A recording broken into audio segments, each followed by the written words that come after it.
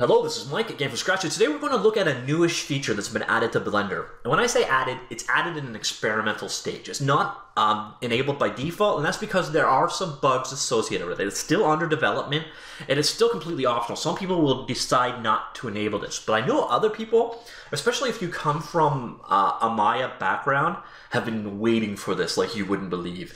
Um, the user interface in Blender is very keyboard centric. Um, doing things with mouse clicks has always been a little bit messy. Um, with the move to 2.5 and 2.6, they cleaned it up, and then they've slowly been adding things like these tabs here, definitely cleaning up the interface, making things uh, more mouseable. But this one here, this this thing we're going to cover today, is a huge step forward. And this is pie menus. Uh, that's what Blender calls them. Basically, context-sensitive menus that pop up around your mouse. If you've used Blend, if, sorry, if you've used Maya, you know exactly what I'm talking about. In Maya, if you press the space bar, a menu pops around your mouse, and you pick quadrant, and then from there you pick what you actually want to do.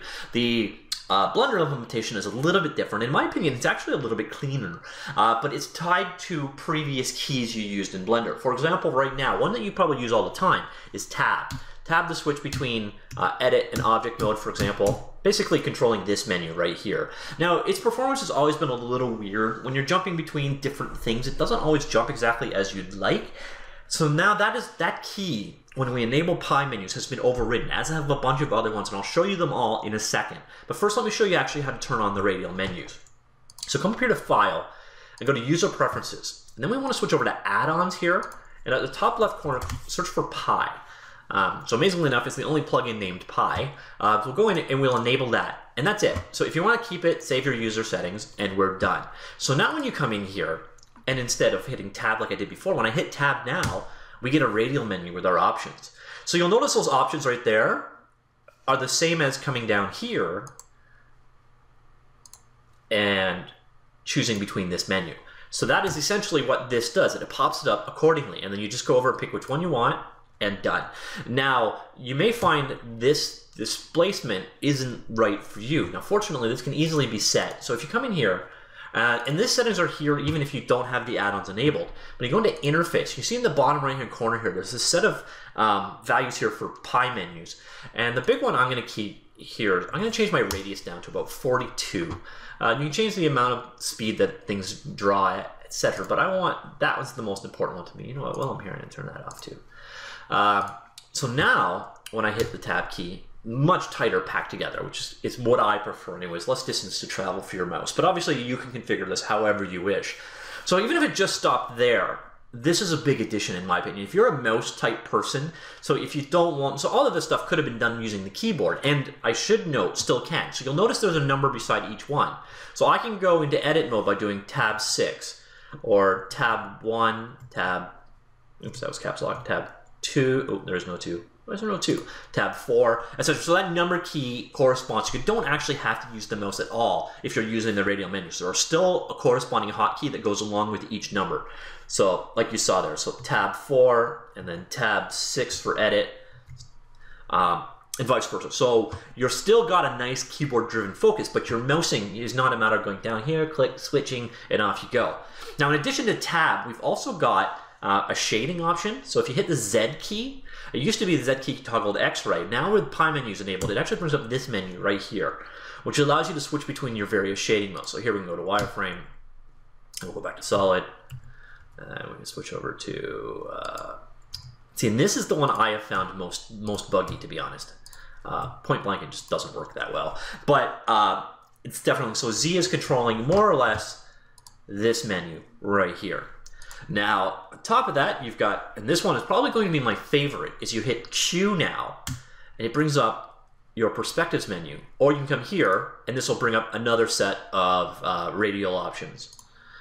So, front, back, right, left. Now, you'll notice too, um, you can now do the number as well. So Q and 4 is left, Q and 7 is front, uh, Q and one is camera, etc. So you still have your fast hotkeys. And the nice thing is with this combo, now I can turn off, I work on laptops almost exclusively, so I do not often have a number pad. So I always have number pad um, emulation on, which turns my numbers 1 through 10 at the top into uh, the, the equivalent of your um, number pad settings. So now I can actually just use Q and a number combination.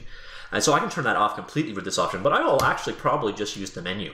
I like this. This is a very good step forward for me. Um, uh, so I'm definitely down with that one.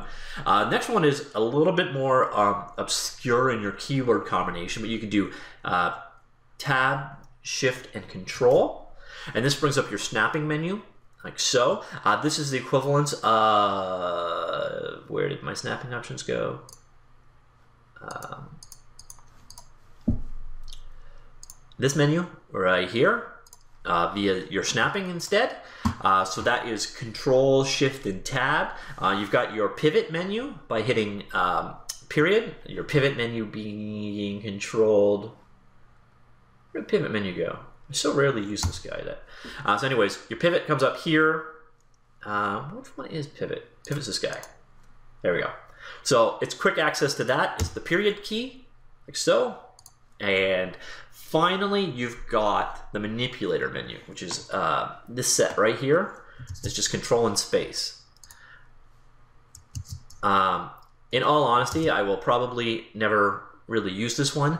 But what this combination does is basically exposes this menu, this menu, um, yeah, so that menu, that menu, that menu, and that menu, essentially, these guys right here are now hotkeys. So no more having to navigate down here and go through menus. This is all now accessible through quick keys and radial menus. So I'm to do a quick um, recap of what the hotkeys were, and then we're done. So first off was tab. Uh, so switch between your uh, your editing modes, your active editor. Z or Z depends on where you're from is bringing up your rendering modes. And again, this is the one I have found to be far most buggy of all the options available right now. Um, then you've got Q, which brings up your uh, camera perspectives. And you got Control Shift Tab uh, to bring up your snapping options. You've got Period to bring up your pivot and you've got control space to bring up your manipulator. And that's it. So, um, to some of you, this is probably like sunlight to a vampire. You're like, no, this is awful. And to you, it's completely optional. Never, never enable it. But if you're coming from a more visual background or you're a mouse focused kind of person, this is going to be a godsend. Even with the bugs, I actually suggest you enable it now and get used to it. It's a nice feature. It's definitely a very handy thing to have. Now, I guess I should have said this right up front. This feature was added with Blender 2.72. Uh, I imagine it has dependencies on 2.72 and forward, so you need to be running within the last couple of months version of Blender. Uh, hope you enjoyed that. It's a cool new feature. It's nice to see the way that uh, Blender is evolving, and it's nice to see Blender evolving in a way that's keeping these things optional. So the purist can stay pure, whereas the um, conversion people or the mouse people are definitely uh, mouse people. Uh, they're definitely pleased as well. So this is a, definitely a good, good development. Good job, Blender team. Uh, hope you enjoyed that. See you later. Bye.